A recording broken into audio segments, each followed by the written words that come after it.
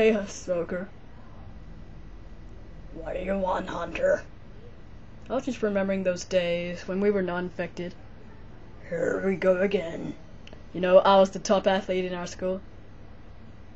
And that looks like a record for John Hansen. Oh, he's gotta be happy with that. Then you were the casual smoker. Yay. Then there was that fat ass.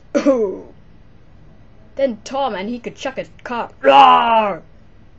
Oh, I'm not my to mention my girlfriend. Oh yeah, that reminds me. The witch died today. What? No! Uh, yes, that worked. The witch is mine now. Yeah. No!